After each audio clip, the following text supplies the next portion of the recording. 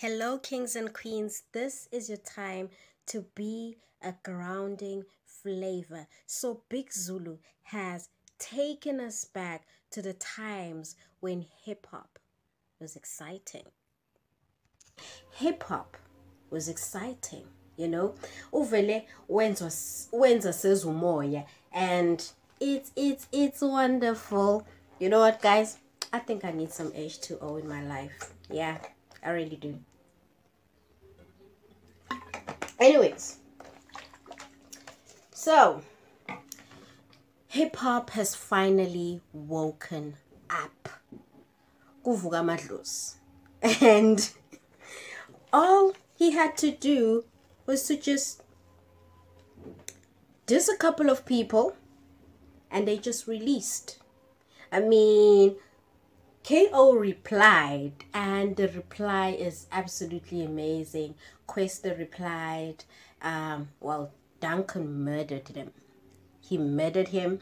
And as for Cassper, he was he was pretty dope. Okay, so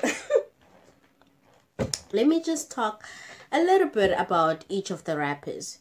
So KO is one of those rappers that's able to hook you you know, he makes you fall in love and then he ghosts you. But he replied, and he was the first one to do so, which is pretty amazing. And then there's Duncan. You know, Duncan is so good. You know, he's so good with his words, but his words are very rough. They are so rough, they can make a grown man cry. But that just goes to show that he's a genius. And I really don't think that he gets the attention that he truly deserves. I don't know why though. He's pretty much underrated, but he is so damn good, you know? and first and foremost, let's just talk about the imagery we're going to talk about the imagery in each of the tracks, you know. So, the first imagery we're going to talk about is that of KO. He he had this cover of a shoe, right? So this shoe has so many negative connotations attached to it. Like it is that shoe that you just know when you see that shoe it's worn by an old guy and he's from a particular place. Like you can just tell you know what's saying this this guy is not from Ekasi based on that shoe. And you can tell the age group as well. So it's predominantly worn by old men. Anyways excuse me. And that shoe on its own it just says a lot you know I think the shoe on its own is a pretty good diss, you know. And then there's Kwesta. So Kwesta put an image of, an, of a quantum, which really makes sense because Big Zulu drove taxis and he's also a taxi owner. I don't know. That's what the people say, you know. So that image makes sense, you know. It's so relevant to him and immediately you just think irenki you think of a person who you know who who's in the taxi business. So that image makes sense. You know these guys really made an effort and they really thought about everything. And then there's a picture of a pineapple. Oh my god. Oh my god. Duncan can can be the only one to do that honestly he can be the only one to do that. I mean that picture of a pineapple and then it's written big dunu. Oh my god. Oh oh my goodness. That picture when i look at it it gives you the illusion that okay this person is rough on the inside but they really just softies. So that picture alone i think it's even worse than all the other pictures combined. Because that one mm-mm, mm-mm, it just tells you that yay you're a softy i'm gonna murder you. And that's exactly what he did you know? So Big Zulu did for 150 bars. And then everybody just replied. And then Uzulu boy also do, did in Intlambuluko. And I must say, I'm quite disappointed, you know, because the word itself, it has so many meanings. Like it's deeply encoded with so many things. And I feel that he could have just played more with words, but then he didn't you know. When you look at the word intlambuluko it means a cleansing you know. And that's exactly what he did. He just cleanses himself of this hip-hop game in a way. And I, I just wanted so much you know just from that because it, like culturally the word has so much uh sig- significance you know. It is a purification. It represents um it represents a purification. It represents a cleansing. And i feel that he could have done so much more but he just decided to give us 50 bars. But he did say that it's not a diss track and of course it really wasn't a diss track. I mean it really wasn't a diss track at all he could have played so much with the words but it's not a bad track either, you know, but I it just left me wanting more, you know, and it's not even half of what he can do. So with regards to Zulu Boy, I was disappointed, but then he did mention that it's not a diss track, so all is well, you know. And then let's go to the other people. Wow there's Kwesta. So Kwesta gave me those uncle vibes, you know. He just he sounded like a Grootman, you know, reprimanding a child, but he did it in such a stylish way. He did it in such a way that it's not insulting, but he tells you exactly what you need to know, you know? So I'm just going to quote a few of his lyrics. So he said wona akhona ama-hits asiphiki lutho isimple vele ufike isimple lento uvele ufike ubambe imic ube nolaka ucathi blind kanti silindi hook i mean that pretty much says everything you know? You think you're the shit but all we're just waiting for is your hook. We don't care what you need to say you know? That was a pretty dope line ngithi uyakhuphuka kanti ubona mina ngiyistebhisi mm. mm. damn but you know what was my favorite line when he said my left uh, my leftovers changed your life guys guys guys guys and he played so much with his words it was really really beautiful because there's somewhere towards the end ethi bheka ngiyakuzuma. Um isniper siyakhala ikhanda ngiyaliphula. So think about it.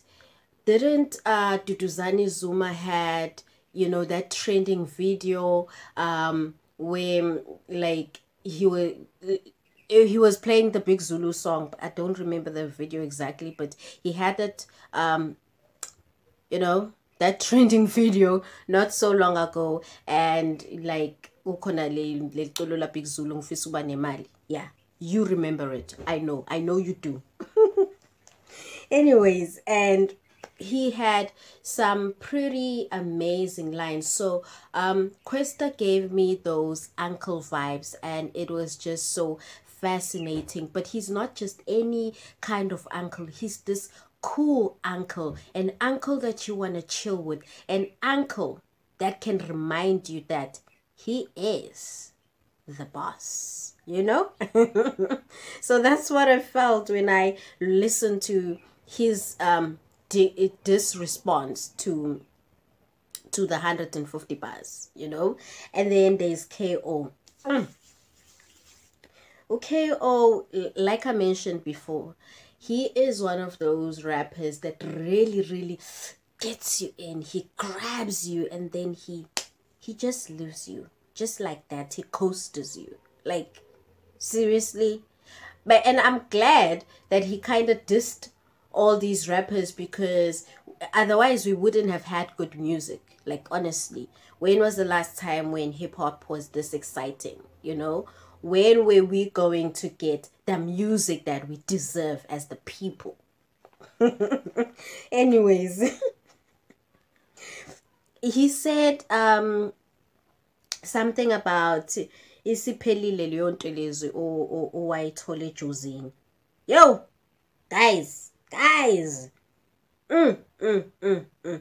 and he mentioned something about him being pissed off because he blue tick he blue ticked him on whatsapp that's why he's making a noise and then he mentioned something about um him getting onto ikarakara well him and his sister getting onto ikarakara Anyways, he was dope.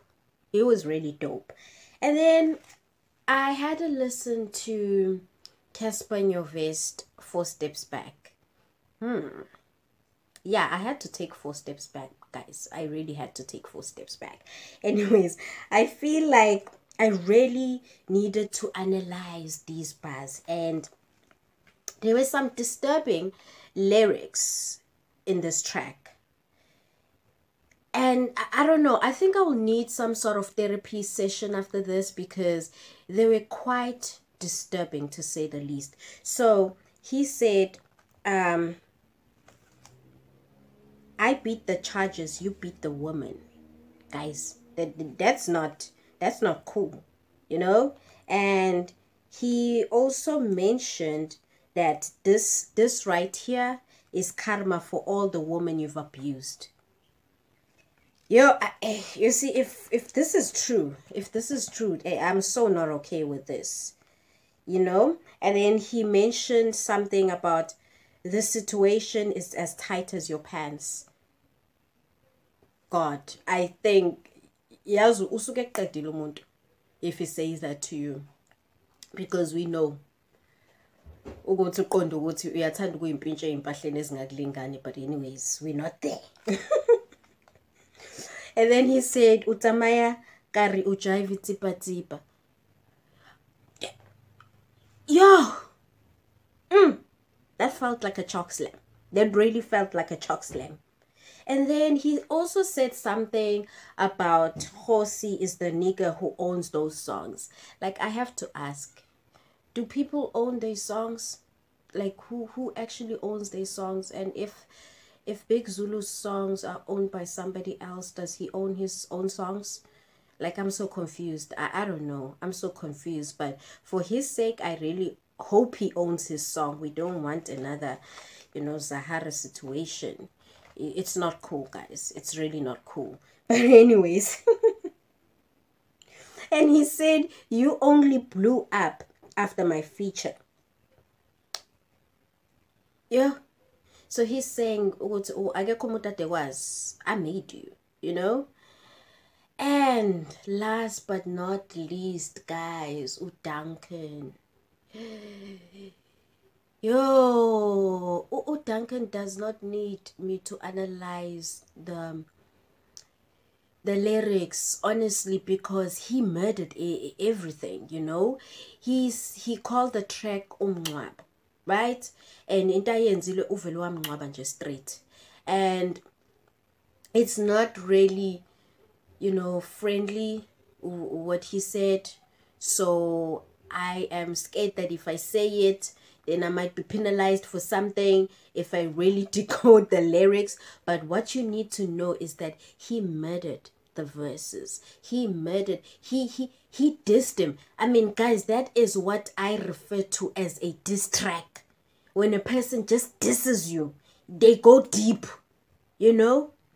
And yo I was speechless but then I understand why nobody ever disses Duncan you know after that but Uzulu boy was very brave saying it's Uzulu boy my goodness sorry did I just say that? Big Zulu. Big Zulu was very brave, honestly. He was very brave by putting himself on the firing line, by actually accepting a challenge, you know, because I listened to the interview that they had on Metro FM. It was Big Zulu, uh, KO, and Kwesta, and they spoke about the tracks, you know, and it's cool to see that the guys are actually friendly with each other. And then Kwesta mentioned something about, um, you know, hip hop being a sport, you know, and you just have to show your skill. And this is exactly what happened, you know. It's a spot. There's a person who came up and you know just this everybody in this case it was uh, big zulu and then he got people you know who responded and this is this makes hip hop so exciting and i'm so excited because it has to take a lot from you you know to put yourself on the firing line because you know people are going to reply. You know they're going to reply, but you do not have control over what they're going to say. They're not going to be friendly with you. They're not going to be nice. They're going to, you know, show the lyric contents. They, they're going to throw bars at you. You're going to feel like you're in prison, you know? Who And once you do, do a diss track, it's not like you have to do another one, but you can. But we, we go according to the respond at this point ukuthi okay ukuphendula isibanibane and that was it. This was murder and it, it was great. It, it's cool. And i love how everybody has taken it upon themselves to respond and the replies are so amazing. They show the lyric genius they show the artistry they show just what hip hop is made of. They show, you know, even the poetic side of hip hop because each person wants to paint a vivid picture. And regardless of whether we agree with what they say or we don't, or we feel that it's too much or we or we are deeply in love with it the point is hip hop hasn't been this exciting in a very very long time and I for one am enjoying every moment. So, this is what I think is going to happen. Well, this is what should happen anyways because this is a very good time, you know, for each of these artists. They should release all of them one by one, release and they work better on beyond be on point because the, they don't even need marketing. They're still hot right now. They're the hottest thing, you know. I know KO is gonna release. Yeah. But I wonder if the other people are gonna release as well. But this is the moment to actually release because everything is just trending. You know, it's on fire. We just want more and more and more of this. Anyways, guys. My name is Bulelo Myeni and thank you so much for joining me today. Mwah, mwah, mwah. Bye.